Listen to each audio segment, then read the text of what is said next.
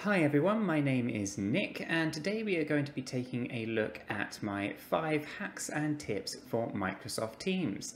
Um, these are things that you may or may not already be aware of with Microsoft Teams and they're kind of hidden a little bit, um, but also very useful and powerful to know how to use them. Um, as always, if you find this video useful, then you know what to do. And with that said, let's jump on over to Microsoft Teams.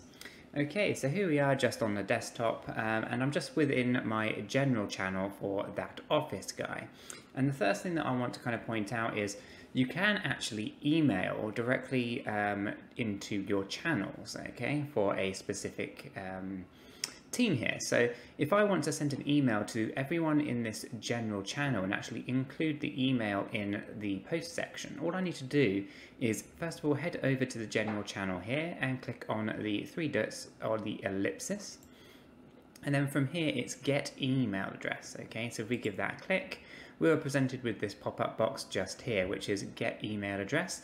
And then you have the email address um, for the particular channel. I can click copy and it will close that down. Now, just bear in mind that every single channel that we have has a unique email address and therefore you can email um, any of your channels as you would like. Okay, so with that copied onto the clipboard, we can head over to Outlook here and start a new email.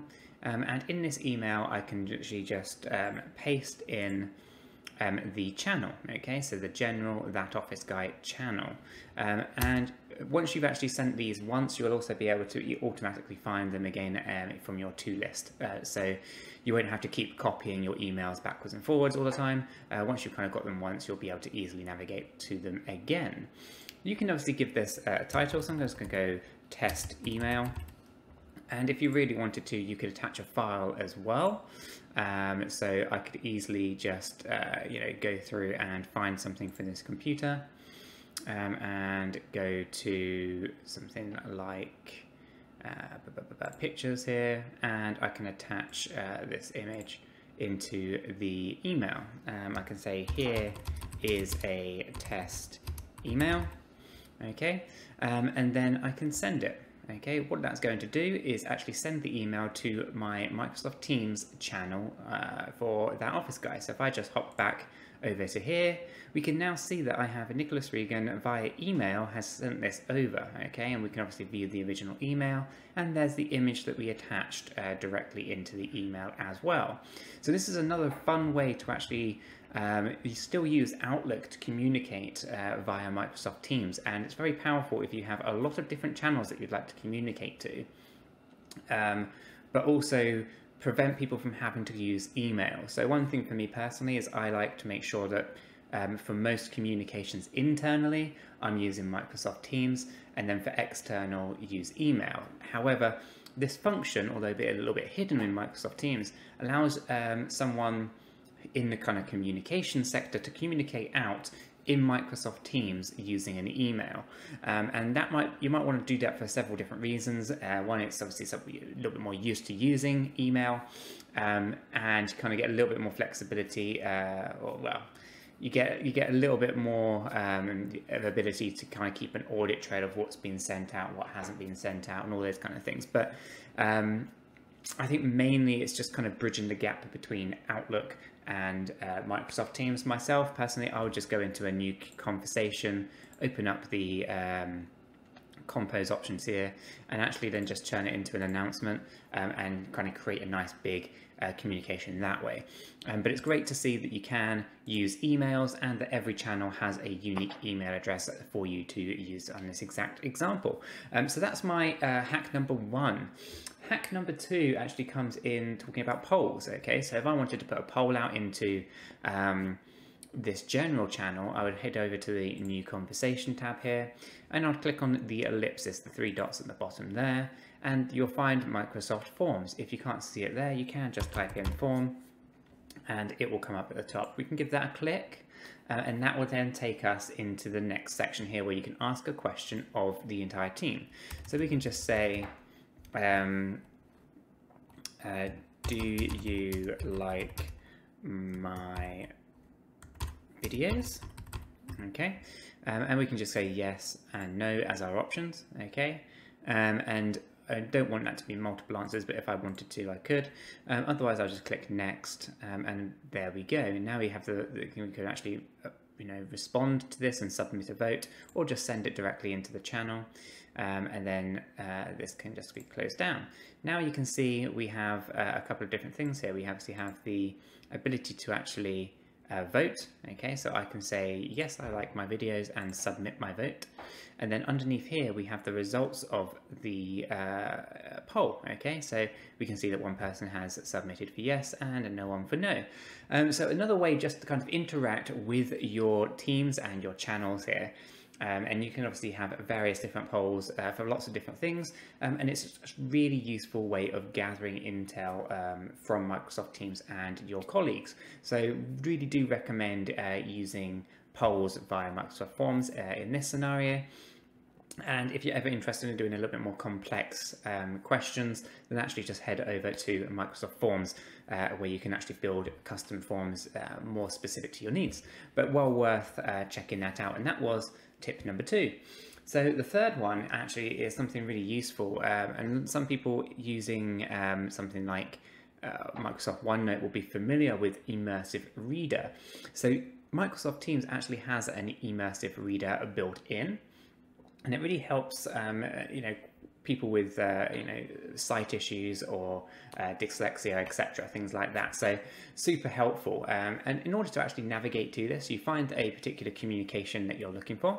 So in this one here, I actually have a, a post all about the immersive reader here. Uh, and if I hover above it, you'll get these options where you get to you know give it a thumb up, uh, heart it and give it various different emojis. Um, but also you have an ellipsis. If you click on that ellipsis, and you can see all of these various different things here, including the share in Outlook, which is another thing we'll talk about another day. Um, but also you have the immersive reader, okay? If you click on the immersive reader, this is going to open up the entire communication into, uh, you know, a larger font for you to easily read it. Um, but you also get a few additional levels of um, functionality here. So if we go up here to text preferences, we can change the font sizing, uh, the styles, the colors and all those kind of things. We also get grammar, so we can format nouns, verbs, um, adverbs, etc. Um, and then this section over here uh, for reading preferences, you can actually narrow this down to a single line. You can go for three line reading um, or five line reading or have that off altogether. You can also choose different languages um, to have this in so it can translate uh, communications for you. So if you're communicating in English, but um, you know, you're communicating in a channel that may be uh, you know, in China or something like that, you can actually translate this uh, directly from the immersive reader as well, which is really useful. Um, and again, if you're dyslexic, you can actually just click on the play button. Nicholas here. Reagan at Saturday, October 10th, 2020, 12:53 p.m. Immersive Reader. In this video, we take a look at the Immersive Reader and how to use it within Microsoft Teams. Nicholas Reagan. So you really get that functionality where it would actually read out the communications to um, to the person who who basically struggles maybe with dyslexia or anything like that. So super useful feature here, um, and it's embedded directly into the communications via the post channel. So really useful, and that is tip number three. Okay, moving on, we have uh, the fourth tip for you which is all about your chat messages, okay? Um, and that is the ability to actually um, assign a, uh, a, different delivery options, okay? So, for example, uh, to my brother here, I can literally just say, um, how is your studio uh, coming on? Okay, question mark. And then what I can do is actually down here, um, we have this little kind of uh, explanation point uh, which is set delivery options. If we give that a click, we have the standard message, which is usually what uh, everyone will have by default. You have uh, something that's called an important message, which we can do that. And you get an important line there just to kind of highlight um, the importance of this message. And then also there's something called urgent. Now, if you click on urgent, um, you basically it's going to notify uh, this particular person every two minutes uh, for the next 20 minutes. Okay, so basically they'll get 10 notifications about this one message that they've received. Um, so it's a really useful way of getting people's attention via the chat functions of Microsoft Teams.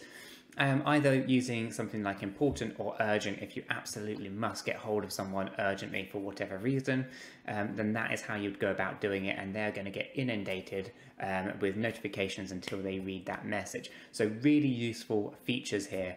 Um, I won't send that to my brother um, because I know he is building a new studio, so I'm not going to disturb him with that. But um, really useful nonetheless, uh, and well worth maybe starting to utilize the important flags um, and urgent in those uh, really critical situations.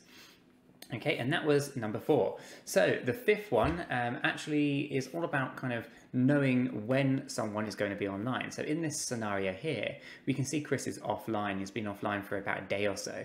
Um, and I would like to know when he's next online, okay? So the thing to do here is actually come across to this chat message from Chris, go over to the ellipses, um, drop that down, and then there's something here called notify when available. Now, if I click that, I will get notified when um, Chris is actually next available to chat which is absolutely uh, fantastic. In a, large organizations where you're maybe trying to get hold of um, some senior level management uh, and usually they're in and out of meetings all the time um, and getting some time to actually you know get them uh, know when they're actually available to talk it, it, can be a little bit difficult right? So this function here basically lets you um, get a notification when their status is showing as available. Okay, so if they're busy or they're uh, appearing away um, for whatever reason, then you know you, you, want to basically be notified when they're available. Um, and Microsoft Teams does a fantastic job of um, switching the uh, statuses of everybody as in, uh, as per their calendars.